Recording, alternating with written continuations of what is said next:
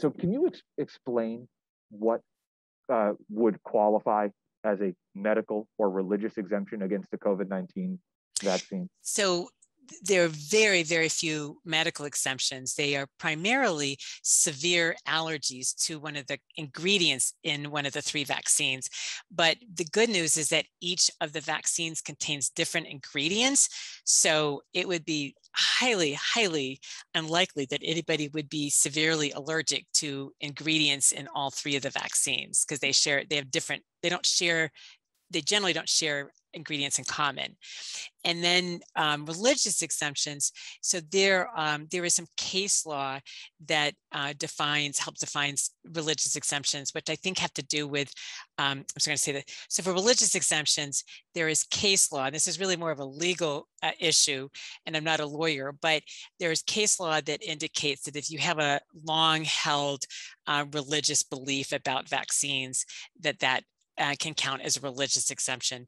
Though I have to say, I don't know of any organized religion that provides as a tenant um, a, a, belief that people should not be vaccinated. So even um, Hasidic Judaism, Christian Science, Jehovah Witnesses, um, there are religions like that that I understand do um, provide for vaccines, that they're not against vaccines.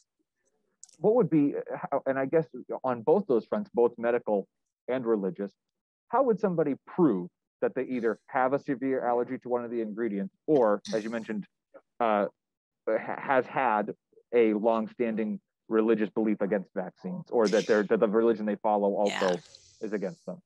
So each employer usually figures determines that they usually have um, ends up having a, a, a provider um, so for instance a provider to um, to look through the medical exemptions to see if they're bona fide.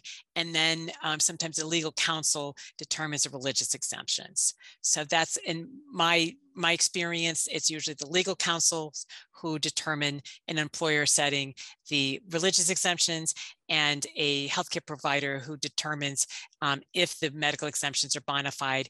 And then the the person themselves, the employee themselves, has to go and get um, documentation from a provider and uh, their private provider um, documenting their medical exemption. But you oftentimes there's a provider on site at the employer in, in employee health, for instance, who determines if that's a bona fide medical exemption. Do you think they would need this need the same type of you know documentation from a, a religious leader that says this religion that we follow you know does not does not allow people to have vaccines or is that we're getting I into think, the weeds you know this or? is really the legal counsel's uh, yeah. question yeah. but i do believe that the most of the time it's something that the person has written about their own beliefs but and again i don't know of a faith leader who says you shouldn't be getting vaccinated but um so anyway it's it's um but it gets into it gets into a lot of legal nuance. So there's um yeah, yeah. so, so, that's fine. I, I will really, ask a lawyer